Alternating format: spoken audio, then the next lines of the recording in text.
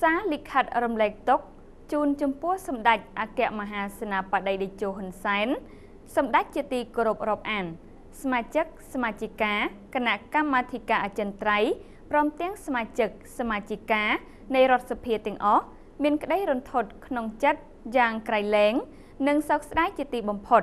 ដែលបានទទួលដំណឹងដ៏ក្រៀមក្រំជាទីបំផុត អំពីមរណភាពអ្នកអង្គញាមហាភក្តីសពបរិស័ក ភោគាធិបតីហ៊ុននាងត្រូវជាបិតាសម្ដេចអគ្គមហាសេនាបតីតេជោហ៊ុនសែន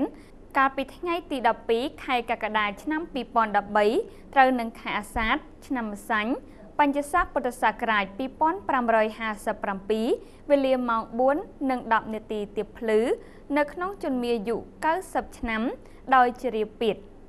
យើងខ្ញុំទាំងអស់គ្នាព្រមជាមួយប្រជាជនកម្ពុជាទូទាំងប្រទេសបានដឹងបានឮបានឃើញ និងជាសាក្សីនៃជីវិតដ៏ល្អឥតខ្ចោះរបស់អ្នកអង្គញាមហាភក្តីសពបរិស័កភោគាធិបតីហ៊ុននាង ជាប្រតិចាជាមហាឧបាសិកាដែលព្រមជាមួយនឹងស្មារតីស្នេហាជាតិដ៏មោះមុតរបស់អ្នកអង្គញា បានកសាងដំណើរជីវិតរបស់អ្នកអង្គញាទៅតាមតែគន្លងធម៌និងប្រកបទៅដោយព្រមវិហារធម៌និងសម្រសធម៌ដ៏ខ្ពង់ខ្ពស់ជ្រាលជ្រៅបំផុត។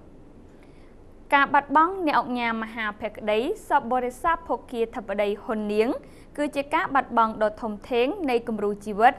ជាអ្នកស្នេហាជាតិប្រកបទៅដោយសិលធម៌ដ៏ត្រចះត្រចង់ដែលបានចូលរួមចំណែកយ៉ាងសំខាន់ចំពោះការអភិវឌ្ឍនៃសង្គមកម្ពុជាយើង តាំងនាមសមាជិកសមាជិកានៃរដ្ឋសភាទាំងអស់និងក្នុងនាមខ្ញុំផ្ទាល់ខ្ញុំសូមចូលរួមរំលែកទុក្ខដ៏ក្រៀមក្រំជាទីបំផុត ជាមួយសម្ដេចអគ្គមហាសេនាបតីតេជោហ៊ុនសែននិងសម្ដេចគតិព្រឹទ្ធបណ្ឌិត ប៊ុនរ៉ានីហ៊ុនសែនព្រមទាំងក្រុមគ្រួសារនៃសពទាំងអស់ដោយសេចក្តីសង្វេគជាទីបំផុត ដែលបានបាត់បង់បិតាបិតាក្មេកជីតាជីតាទួតដ៏គំរូគឺអ្នកអង្គញាមហាភក្តីសពបរិស័កភោគាធិបតីហ៊ុននាង ជាអវសានកថា តាំងនាមសមាជិកសមាជិកានៃរដ្ឋសភាសូមឧទ្ទិសបួងសួង ដល់គុណបុណ្យព្រះរតនត្រ័យ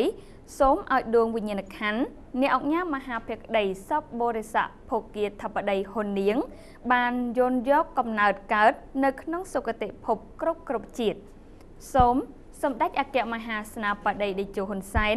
និងសម្ដេចគតិព្រឹទ្ធបណ្ឌិតប៊ុនរ៉ានីហ៊ុនសែនព្រមទាំងក្រុមគ្រួសារទទួលនៅការរំលែកទុក្ខដ៏ក្រៀមក្រំបំផុត ពីរូបខ្ញុំ និងសមាជិកសមាជិកានៃរដ្ឋសភាទាំងអស់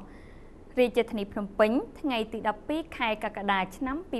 2013ប្រធានរដ្ឋសភាហត្ថលេខា